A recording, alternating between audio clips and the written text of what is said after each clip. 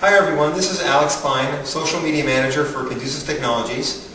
I'm here with Todd Graham, one of our software engineers. Hey, you doing, Todd? All right, how you doing? Pretty good, thank you. So, Todd, saw a post on a forum recently from Nick Rhodes talking about Diskeeper 12 on Windows 7. He feels he could run the built-in defragmenter once a month, kind of address his fragmentation issues, boost his performance. Why wouldn't this be the best option? Well, you're, you're dealing with a herd in a month time frame. Even, even Windows, default fragmentation is once a week. They know they need to deal with it, and they do it once a week at 1 o'clock on Wednesday morning as a default. So why wait once a month when the manufacturer tells you sooner? Huh. Yeah, that makes, that makes pretty good sense to me. So now, the once a month defragmenter, you know, I mean, fragmentation is building up every day. Okay? So, even once a week, I mean, you got six days, you know, in between those defrag jobs where you got none of this performance boosting happening.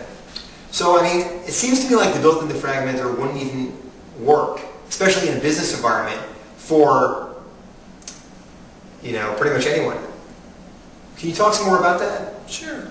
Well, Windows 7, like you said, it's once a week, and they're going to defrag 1 o'clock in the morning to the systems. So what we think is there's fragmentation, as you said, going on every day.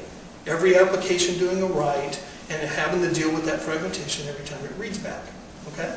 So let's prevent the writes from being fragmented in the first place. And that's what we do. We actually want to keep them in a sequential write to the disk drive, all the way through the NTFS, through the bus, to the disk drive, and let the disk drive just seek one time to do a write. Much more efficient, less time, higher band, higher megabytes a second, if you will. Okay? On the reciprocal, your, your performance will be when your application has to read those files.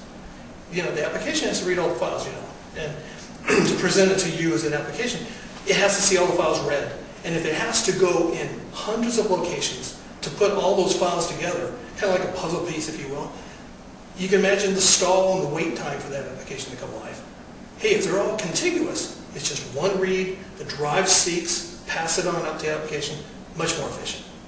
Huh. So it's, it sounds like we're preventing fragmentation before it's occurring, so we don't have to kind of catch up later. There you go. Sounds good to me. Thank you, Todd. My pleasure.